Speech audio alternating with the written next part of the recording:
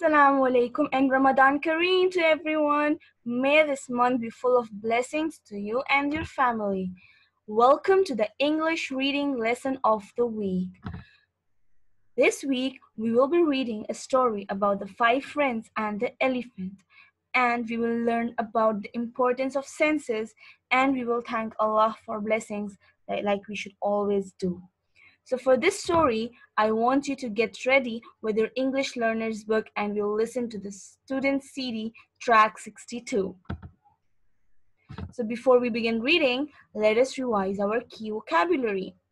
Friends, blind, elephant, side, wall, rope, tail, snake, trunk, tree, leg, giant fan, ear. Learning outcomes.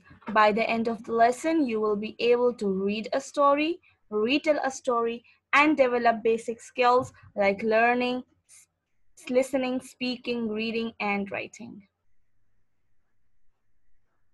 You have this YouTube link for the recorded lesson that you're listening to right now. You will click on this link after listening to the story for the reading assessment. You will answer the questions and submit your assessment. And this is how our story will be integrated with science and religion. Like we know, we have five senses and we should be thankful to Allah for those five senses and UAE Vision 2021, like we know that UAE provides safe life and full of facilities life to the people of determination who don't have their senses.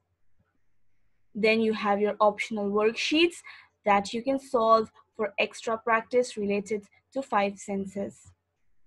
So let's begin with our lesson. Here is our lesson and we will read. So open your learner's book, page 88 and let's listen to the track.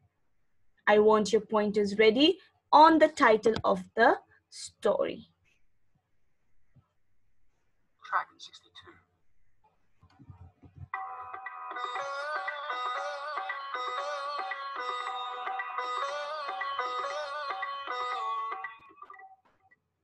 Five friends and the elephant. A man arrives with an elephant. It's the first elephant to visit this land. Five blind friends want to meet it. They can't see, but they can use their other senses to learn about the world. Okay, so we have read now that there were five blind friends. Blind means they cannot see, they don't have their eyes working properly. So, how would they see the elephant that has come to their land?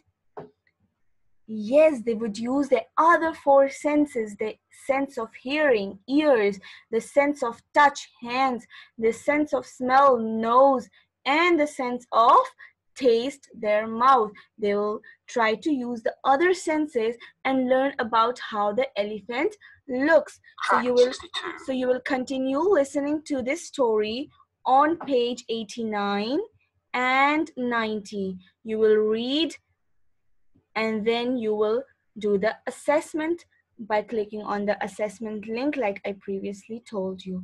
These are the extra pages in the learner's book page 91 and activity book page 72 that you can do for extra practice and then you can also check your answers from here and also activity book page 73. Then you have your YouTube videos that you can watch and have fun while learning at the same time. Thank you and I will see you all next week in the next lesson.